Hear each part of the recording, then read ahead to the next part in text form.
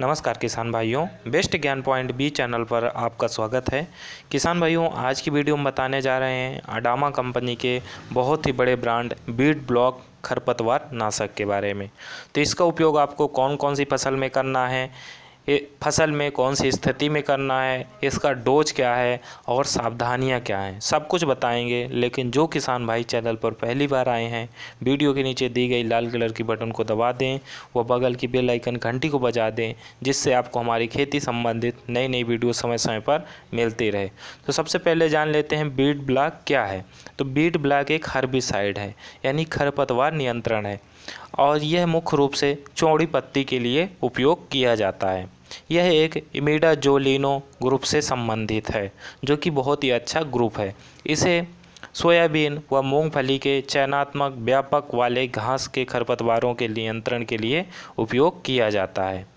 इसका उपयोग आपको फ़सल में दो से चार पत्ती के जब खरपतवार हो जाए, तभी करना है।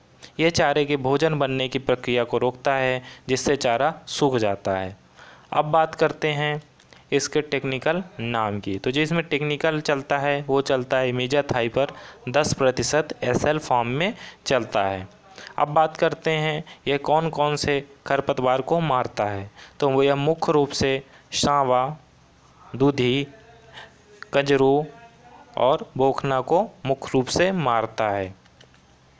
अब बात करते हैं इसके डोज की। तो इसका जो सोयाबीन में डोज है, वो है 400 सौ प्रति एकड़।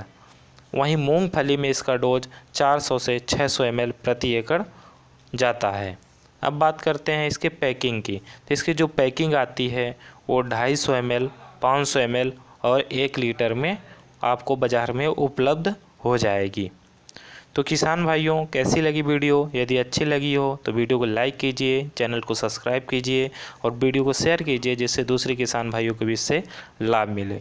कोई सुझाव हो तो कमेंट दीजिए। धन्यवाद।